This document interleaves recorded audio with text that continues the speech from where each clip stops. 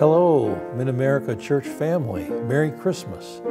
Just today, our office staff gathered together and we decorated our office with poinsettias and all kinds of things, and it feels very Christmassy, my favorite time of the year. In many ways, Christmas mirrors the time we live. I can only imagine what it was like for Joseph and Mary.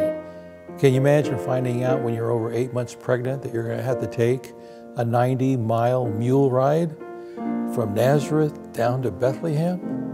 Could you imagine that? And, and, when they get there, they find the place is packed with people and, and, and there's all kinds of things going on. And here Joseph is trying to find a place for the Messiah to be born. And in the midst of all that turmoil, the Prince of Peace was born. Today, there are many people who are concerned about what's going on in the world. We just had an election here in the United States, and some people are concerned about that. People are concerned about wars and strife happening all over the world.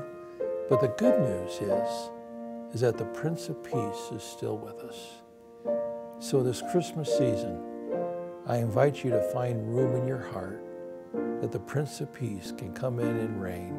And when he is there, no matter what the world throws at us, we're okay because Jesus is in our hearts. From the Mid America Union Conference family, Merry Christmas to you and your family. God bless.